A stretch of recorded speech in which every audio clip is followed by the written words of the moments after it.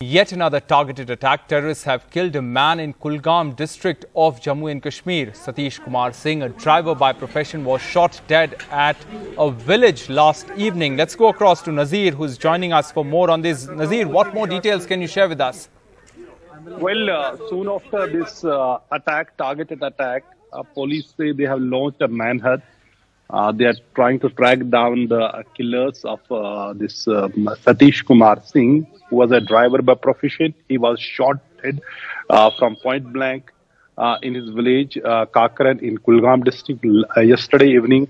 This is part of a series of targeted attacks on migrant workers or minorities in the valley.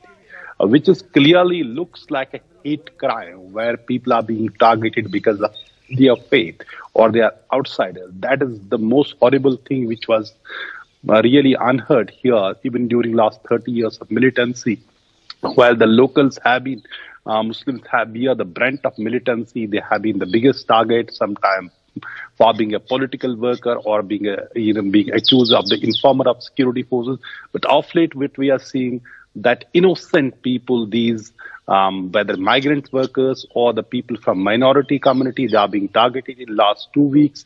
There have been eight targeted attacks, you know, you know, incidents where, you know, these, these six, uh, you know, persons, uh, um, non-local laborers, migrant workers have been injured, shot at and injured.